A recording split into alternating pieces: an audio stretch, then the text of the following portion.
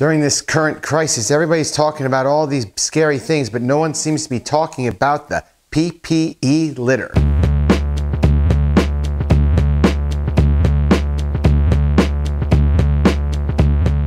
Hey there, njroute22.com, and today we're going to talk about something that everybody knows about. Everybody except infants and one year olds. It's about the side effects of uh, personal protection. I guess this whole crisis, which I like to refer to it as, I don't like using many of the common phrases that everybody's using. They're like wearing them out. They're not even scary anymore. Oh, pandemic.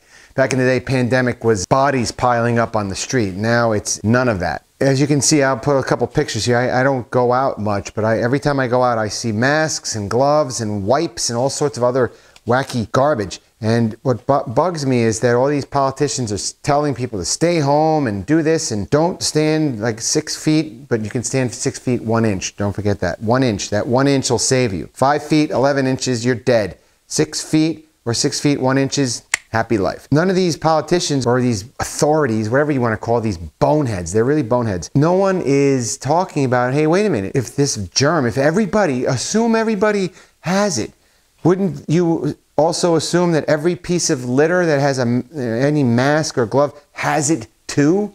And they're, they're not even making any effort to clean it up or address it as a real concern, which kind of blows holes in it like Swiss cheese in their whole scare tactics. I call it a fear factory or whatever. You can't even stand up to it. I mean, a lot of people are, and it's growing optimistically growing there where people are resisting this nonsense. We woke up the minute, when the minute that we, we heard about it, we just said, forget about it. Gonna, I'm not going to do this. But it's a sad world we live in. I guess that's why a lot of people who are city folks are starting to find more isolated places to live. I just think this is nuts. If anybody can show me anybody that say, oh, we have to clean up the PPE litter, I'd be happy to see it, but I haven't seen it. So that's it. If you like the video, please hit the buttons and all that and subscribe and share with your friends on social media. And I'll see you next video.